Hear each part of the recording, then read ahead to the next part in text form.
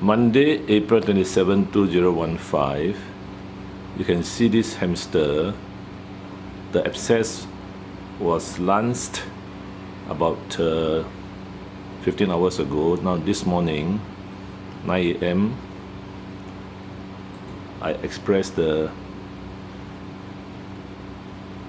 the incised wound and you can see there's more abscess coming out this is uh, why the abscess recurs if you let the hamster goes home, go home to the owner on the same day of surgery. You can see the abscess there from the below my thumb and uh, the wound has not closed yet on the second day, day two now, because it's still it's still new.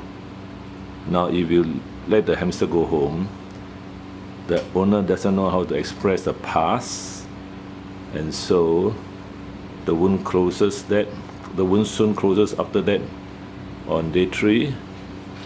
Then the owner will come back and says well the abscess recurs again. That's the reason I say that uh, it's best to have the hamster inpatient for at least one or two days rather than sending home. You can see the ear warts.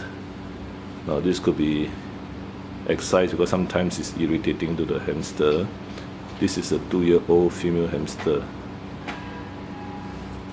The ear warts on the right and the ear warts on the left.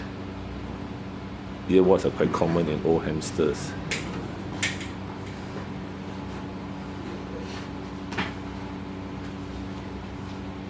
So in summary, always have a long incision or lance a, a big cut. Then you curette the pus, irrigate it and drain it yesterday at the first day. Then the next day you still have to check it because you can't say that uh, you have expressed all the pus and therefore you have done your job. But actually, as you can see from here, that the pus is still coming out. I've done it earlier on, and uh, before I got this camera, the hamster had already rubbed off the the pus. This is the second lot coming out after I got the camera, and as you can see, this pus is not much, but still, it's from deep inside the skin under the lower eyelid. So today and tomorrow, two days after the surgery, you will check the wound and make sure that all the pus is eliminated or expressed and then eye drops will be given. The hamster is overall in good good shape and uh, normally we put it here and uh, his owner had given him plenty of food, as you can see. He has uh, a lot of food which the owner has prepared for him. He says this owner does not like the hamster to be out of her home even for a few seconds. But uh, in this case, if the owner wants it back on the same day of surgery, then uh, the vet has to tell her that should the abscess recur, then uh, they have to pay the full cost for the anesthesia and treatment again as uh,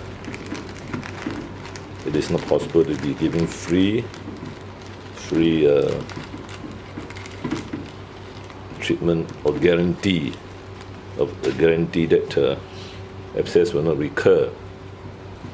But we can always minimize the risk, the recurrence by making sure that uh, the hamster is kept for two days inpatient and uh, check on the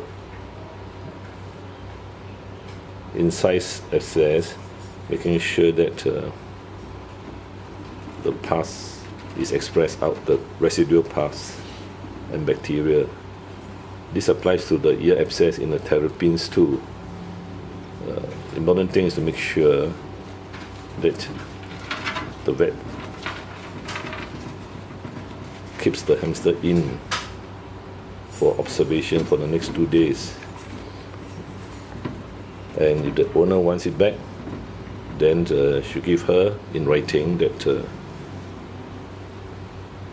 should the abscess recur, she has to bear full responsibility and payment rather than uh, not letting the owner know and also to put it in writing so that there's no uh, misunderstanding between the owner and the vet. In this case, there was no written instructions as to the need to check for abscess the next two days. And so the abscess recurred. And after five weeks, the owner brought it back yesterday and uh, the hamster was operated. See the other video. Toa Vets, subconjunctival abscesses, dwarf hamsters, Singapore, April 28, 2015, day 2 after surgery.